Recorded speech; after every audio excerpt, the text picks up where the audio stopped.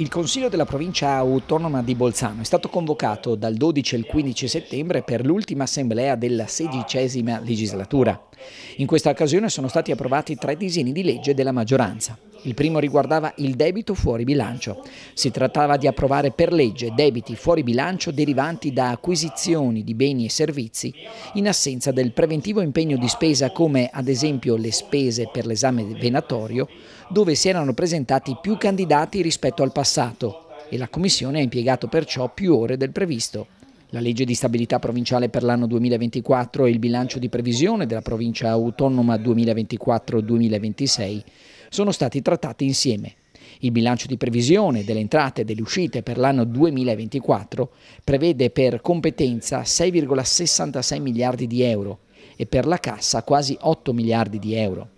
Si tratta di un bilancio tecnico, cioè di un bilancio che non prevede nuove allocazioni dato che ci si trova alla fine della legislatura. Approvata anche una mozione dei Verdi e del Team K sostenuta anche da alcuni consiglieri della SVP. La mozione obbliga la Giunta provinciale, nel contesto della tutela del gruppo del Sassolungo e dei piani del Confin, a supportare i comuni interessati e a coinvolgere la popolazione nell'elaborazione partecipativa dei piani di sviluppo sovracomunali. La popolazione deve poter partecipare alle decisioni riguardanti lo sviluppo futuro della zona di tutela delle acque, dei piani del Confin e del gruppo del Sassolungo.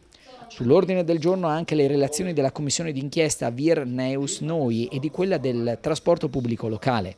La commissione Vir Neus Noi ha presentato una relazione tecnica approvata all'unanimità dai membri della commissione. Per la valutazione politica dei lavori sono state presentate invece cinque relazioni di minoranza, una ciascuno di Südtirol Freiheit, Partito Democratico Liste Civiche, Movimento 5 Stelle, Team K e Verdi.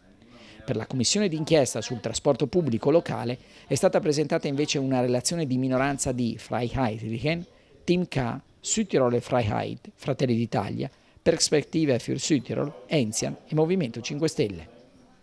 Approvate anche due mozioni presentate dalla SVP. La prima vuole rafforzare gli esercizi ricettivi a livello locale, cioè le osterie e i bar di paese, rivedendo gli attuali criteri per la concessione degli incentivi e prevedendo adeguamenti volti ad un sostegno ancora maggiore degli esercizi ricettivi a livello locale.